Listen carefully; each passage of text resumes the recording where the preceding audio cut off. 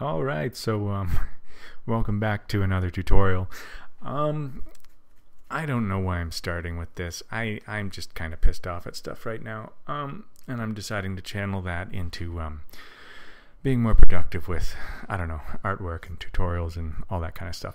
Um, but this was funny. Um, so there's this unsubstantiated rumor. I mean, it's the morning after, right? I mean, there was the the presidential election and. Um, uh, so Trump wins, and um, this rumor goes around that Harambe got whatever, 15,000 votes, 20,000 votes, and all that kind of nonsense. And and it's not true. It was just um, just sort of one of those things that gets passed around.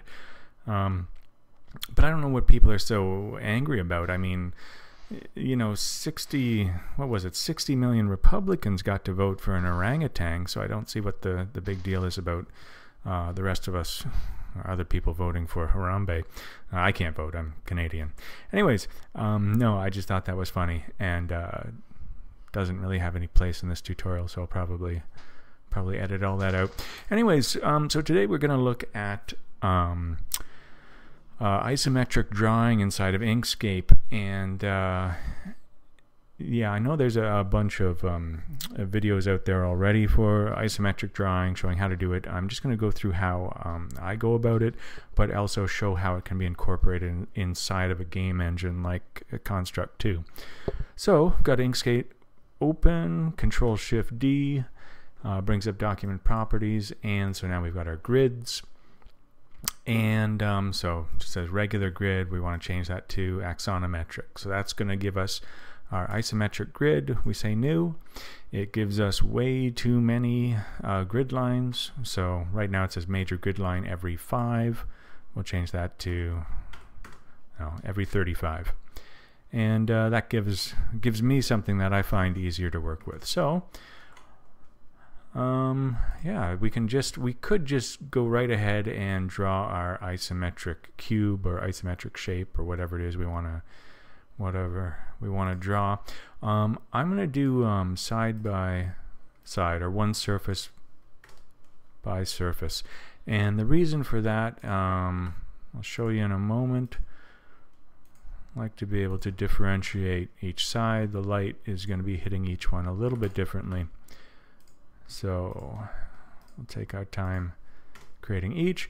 Um, I also like to put uh, gradients on um, pretty much any surface I create because it's very rare that light is going to be uniformly hitting uh, any surface even if it's a flat surface um, there's going to be some gradation across it.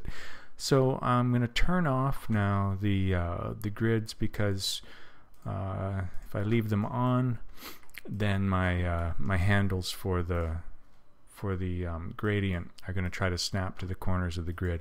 You can turn that off over here um, but I just find it easier to turn off the grid completely.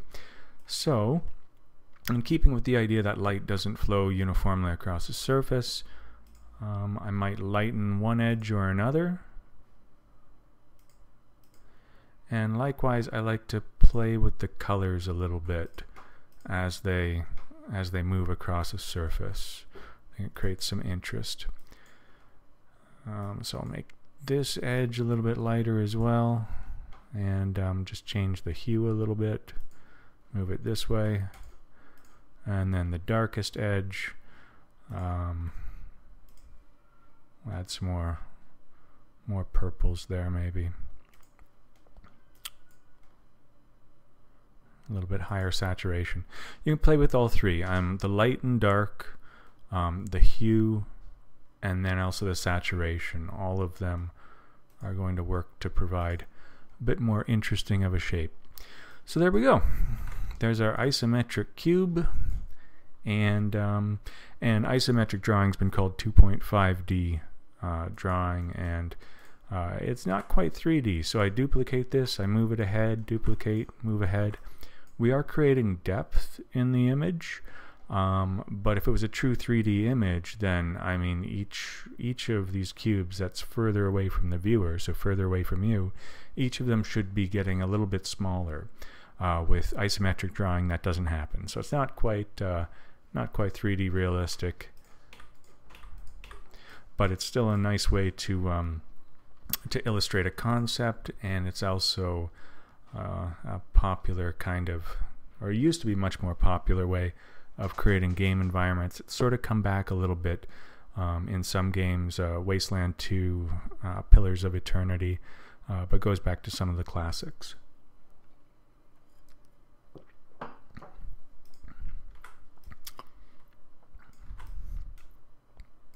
Like Q*bert.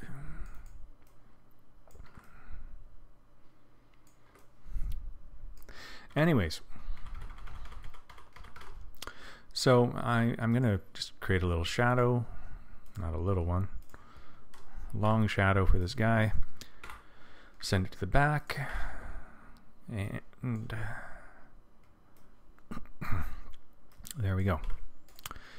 So, um, I've got a relatively, well, I won't call it interesting, it's pretty simple.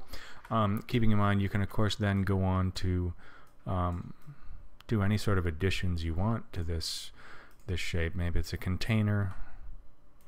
You know, you can add details as you go. But I'm just keep it, gonna keep it as a cube. Keep it simple. I'm gonna export export both of these shapes, and um, and this is a neat thing inside of Inkscape. So um, Inkscape, you can see over here, it's got the, um, the dimensions. I click on the cube and Inkscape is thinking maybe I want to export it at 243 width and um, 600 pixels width for the shadow. It's just going, I think, based off the, um, the size of the page. But this is kind of neat. So I'm going to export. Um, let's choose to the desktop because, you know, it's best practice. Um, so I want to export it much smaller. We'll go uh, 120. So we say export. And now the shadow that was going to export at 600 uh, pixels, now see it says 300 pixels. This I think is cool. Uh, you know, Inkscape is intuitive about uh, if you export a shape at one one size, it then figures okay maybe you want to proportionately export other shapes at um, at a, at a relative size. So I, I, don't know. I just think that that's kind of cool with Inkscape. So um, exported both those, the the shape and its shadow. Uh, go into construct and create our new empty project. And now we're going to bring both of those in. So I'll bring the shadow in first. It just saves me a step. I don't have to think about uh, moving it to the back um, in the Z order because as you export newer objects, they uh, they appear higher up in the Z order. So just saves one extra step. So I've got my, if you can call this a game environment, I've got uh, the beginning of my game environment. Um, I turn off scaling. I have no idea why it defaults to scaling, but anyways, uh, I hit F5 and there we go. There's my, my game, and it's a pretty crappy one. Okay, so uh, construct 2 runs on the behavior system, so we're going to give the cube a behavior, and that behavior is solid. We don't want enemies, we don't want players um, moving through the cube on the screen, but of course we want them moving across or over the shadow. That's no no big deal.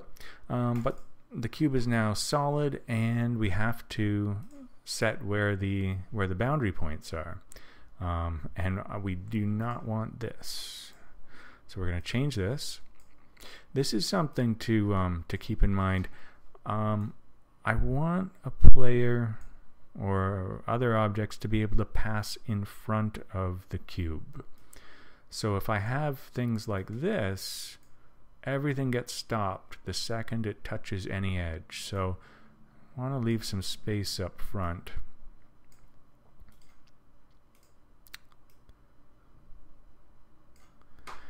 And there we go.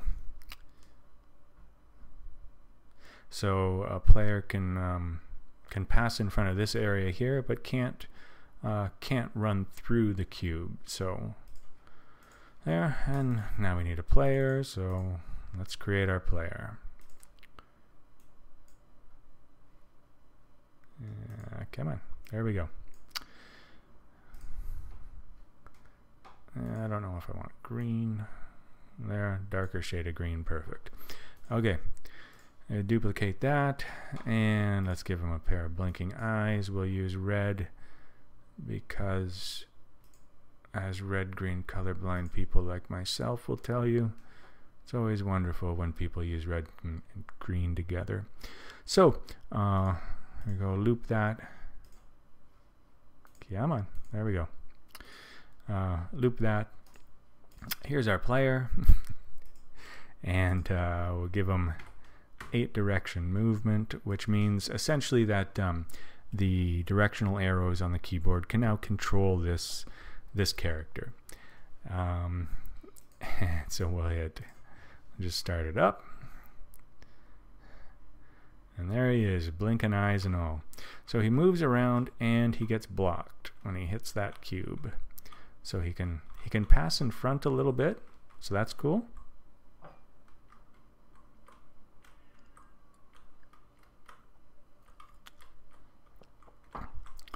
But you'll see that um, the cube nevertheless sort of becomes this uh, barrier, this obstacle for for the player and potentially for, for other objects in the game. Um, we could copy and put that out a few times. Uh, make the player a little bit smaller just to show better. And uh, there we go. So we play this now. And we've got a maze for the, the player to run. Um, I didn't reset the player's Z order, so actually he's gonna he's gonna turn out behind. Yeah, he disappears behind each of these objects. So actually, let's let's do that again. Let's just bring him to the top.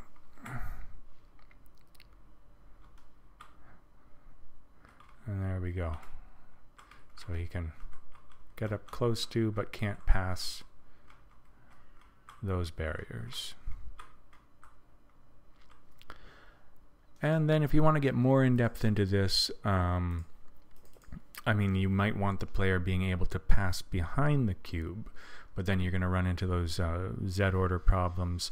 Um, so that would be a thing where you would write um, an event where essentially whenever the the player's um, y-axis uh, was lower than because the y-axis starts at zero and increases. So whenever the player's y-axis is lower than a particular instance of a cube, you set the uh, player's uh, z order to the background, and then whenever the player's uh, y-axis exceeds the cube's y-axis, you bring the player uh, to the front. You set an event that does that. Uh, anyways, hope you found that helpful. Um, have any questions, leave them in the comments section. And any ideas about what you want to see next, um, yeah, go ahead and leave that there as well. Okay, thanks a lot.